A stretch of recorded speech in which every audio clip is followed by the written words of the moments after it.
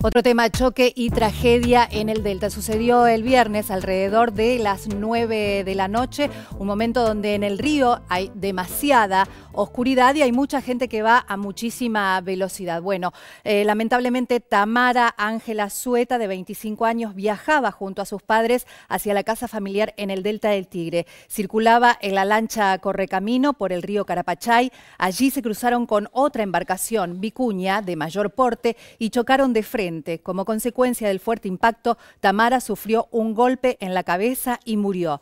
Sus padres, Ángel y María Elena, quedaron internados y en estado delicado en el hospital de Pacheco. La otra lancha la manejaba el abogado penalista Manuel Becar Varela, quien por ahora no está imputado. Tras el accidente se le hizo un control de alcoholemia que dio positivo.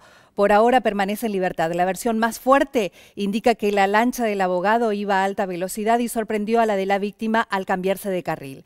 En tanto, la Prefectura Nacional realizó este lunes un rastrillaje para elaborar un informe preliminar, mientras se informó que ya declararon como testigos los ocupantes de la lancha conducida por Becar Varela, excepto él, quien en caso de resultar imputado lo haría en calidad de indagado.